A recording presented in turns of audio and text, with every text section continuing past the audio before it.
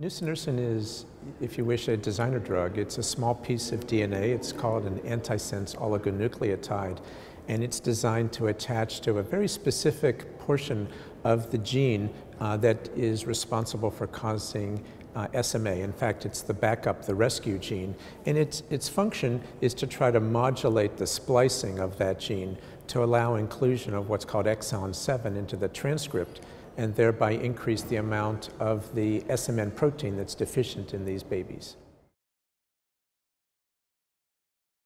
The ENDEAR study was a pivotal uh, randomized controlled study, so it was a phase three study, to try to identify both the safety and the efficacy of nusinersen in babies under seven months of age who were predicted to have type 1 SMA or the most severe form. And that study convincingly demonstrated that in fact nusinersen in the treated arm uh, both increased survival and improved motor function as compared to the sham control arm.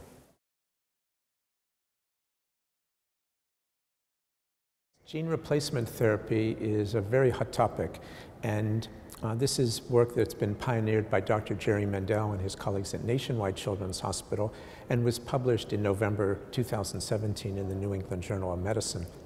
And this study was a phase one study that only involved 15 patients, and it was really designed to be a safety dose escalation study. But in fact, what it showed was that these babies, particularly the 12 who were in the higher dose uh, cohort uh, had remarkable improvement in their motor function.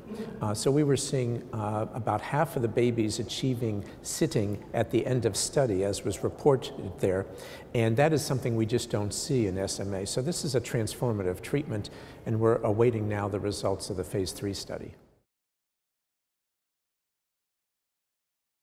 So both the nusinersen antisense oligonucleotide and the AAV gene therapy strategies are showing remarkable responses in both improved survival and increase in motor function.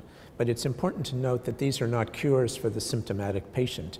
And that's raising additional questions. In particular, do we need other strategies in combination therapy? Do we need to look at targeting not only the motor neuron and increasing the SMN protein that's being produced in those motor neurons and rescuing them in effect, but do we need to be targeting muscle and other tissues as well?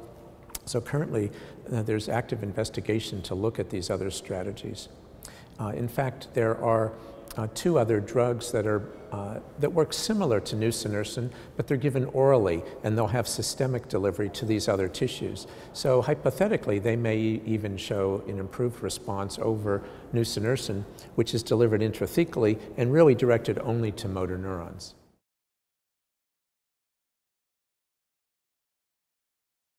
Now that we have this first treatment of nusinersen, uh, for the treatment of children and adults with SMA of all types.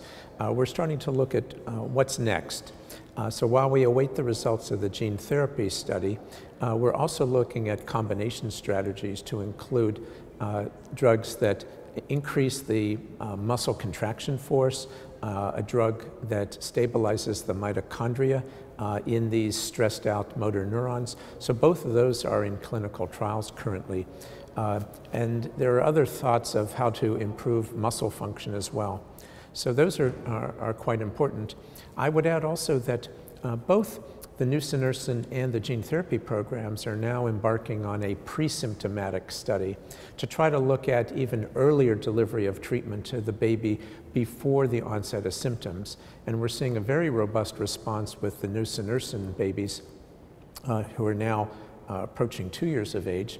Uh, and we're hoping to see a similar response with the gene therapy program. Now that we have uh, this first treatment uh, for SMA, I think it's important to keep in mind that this is not a cure. And it's a wonderful first step, but it's really just opening the door to future treatments. Uh, I think the hot topic at the moment is the idea of newborn screening. And it, it's certainly shown that it's feasible to do screening on the little blood spots that are done on all babies at birth. And it's relatively inexpensive. So it's feasible to do a mass screening try to identify babies pre-symptomatically and uh, move forward with treatment options at that time before they have symptoms. So this really could revolutionize how we treat SMA. Uh, there are likely to be two groups of patients, uh, those who are currently symptomatic that will be treated with these drugs uh, that are evolving in the clinical trials, as well as trying to treat a cohort of patients pre-symptomatically. So the future is really quite exciting.